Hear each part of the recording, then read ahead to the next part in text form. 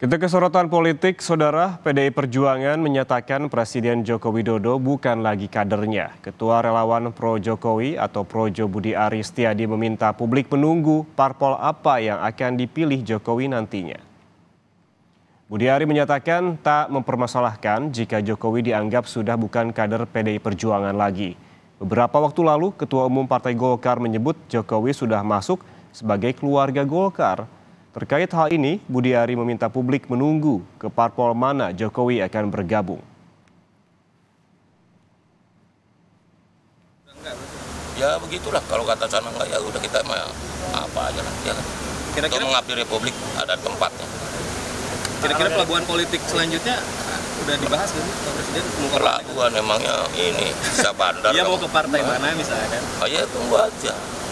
Kalau sekarang dibocorin kurang seru dong. Oh berarti ada. Ya tunggu aja. Ya Pak. Kuning. Tunggu. Kamu ini no-